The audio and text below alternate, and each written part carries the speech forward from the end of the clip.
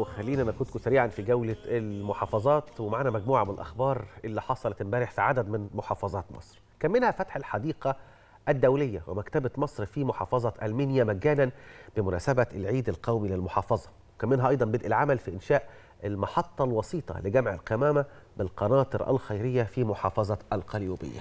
أيضا امبارح في محافظات مصر تم الإعلان عن توزيع 36 ألف طن أسمدة على المزارعين المستحقين في المنوفية وتدشين منظومة النظافة الجديدة في أجابة أهلية وأخبار تانية كتير هنتعرف عليها مع حضراتكم في سياق هذا التقرير.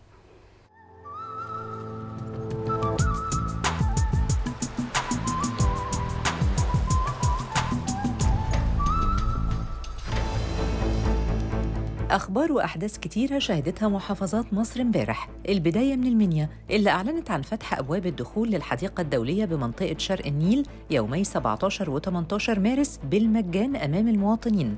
وكمان فتح أبواب مكتبة مصر العامة لجميع الجماهير بدءا من يوم الحد 12 مارس حتى يوم السبت 18 مارس. وده بمناسبة الاحتفال بالذكرى 104 للعيد القومي لمحافظة المنيا. في شمال سيناء أقام مجلس مدينة العريش محطة انتظار مضيئة تعمل بالطاقة الشمسية أمام مبنى المحافظة لخدمة المواطنين. وأكد مركز مدينة العريش أنه جاري إقامة 20 محطة انتظار أخرى في أماكن متفرقة بشوارع المدينة الرئيسية. في كفر الشيخ تم تدشين معرض بيع السلع والمواد الغذائية بأسعار مخفضة للمواطنين بيضم 24 باكية وبيحتوي على سلع غذائية أساسية من الرز والمكرونة والسكر والزيت والبقوليات ومنتجات الألبان والعسل والدقيق ويميش رمضان.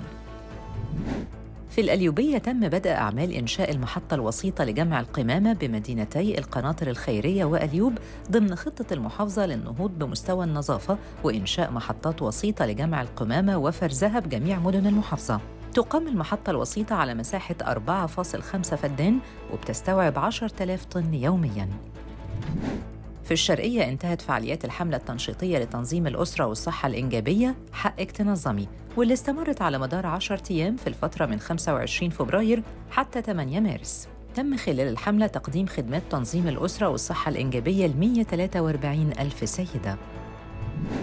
في الدقهلية تم إطلاق منظومة النظافة الجديدة بمدينة أجا واللي بتضم سبع سيارات خمس طن قلاب وسيارة مكبس ست طن و197 صندوق نظافة وحاوية. وكمان تم افتتاح موقف أجا العمومي بعد تطويره على مساحة 4000 متر مربع.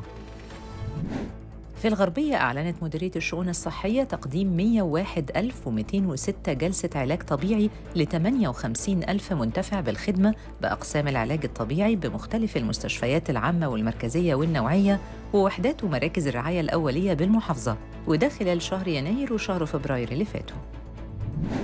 في المنوفية تم الانتهاء من توزيع الأسمدة الخاصة بالزراعات الشتوية في كل أنحاء مراكز المحافظة بواقع 36 ألف طن أسمدة طبقاً للحصر اللي تم إجراؤه من قبل الجمعيات الزراعية للمحاصيل المستحقة ومنها القمح والبطاطس والفاصوليا. في الوادي الجديد أعلنت مديرية الشباب والرياضة استكمال فعاليات المحطة ال14 من مشروع القوافل التعليمية والتنويرية لطلاب الشهادة العامة بالمرحلتين الثانوية والإعدادية بمحافظة الوادي الجديد.